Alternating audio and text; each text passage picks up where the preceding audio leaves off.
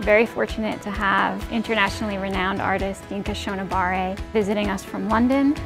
He came on the occasion of our showing of the new sculpture for the very first time here in our galleries. It's great to see my sculpture, uh, Girl Balancing Knowledge.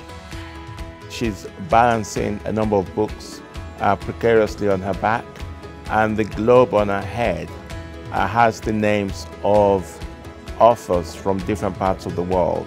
It's a work also highlighting the importance in our society of educating young girls. If we don't do that, then we run the risk of not having, you know, a well-educated society uh, in general. It's really visually gorgeous. Every detail is so finely considered.